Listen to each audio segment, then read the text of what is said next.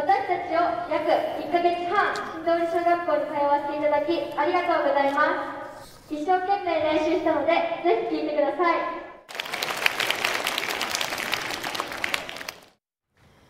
元日の地震発生翌日の境和中学校。こちら校舎と校舎のつなぎ目の部分なんですが大きく亀裂が入っています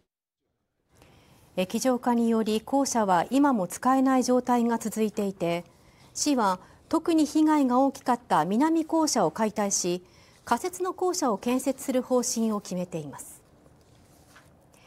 そんな境和中学校の3年生が地震後授業のため教室を借りていたのが同じ校区内にある新通り小学校です。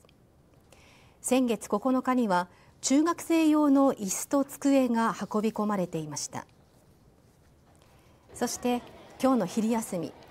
2ヶ月近く同じ校舎で過ごし卒業を控えた中学生の歌声を聴こうと多くの児童が集まりました。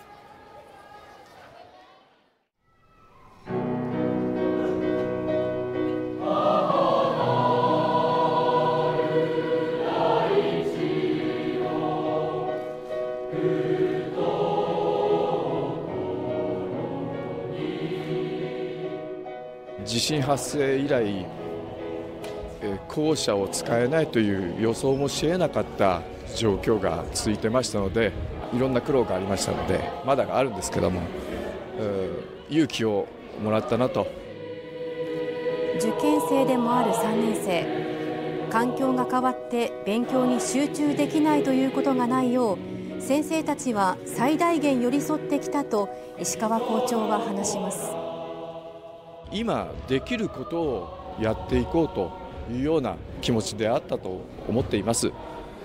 一生懸命に学習生活に取り組んでおりました。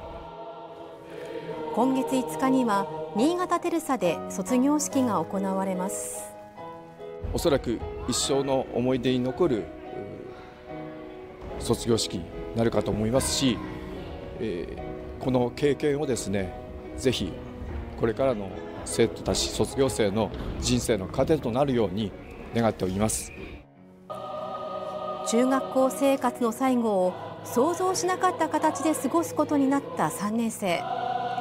それでも今伝えたいのは感謝です。小学生の皆さん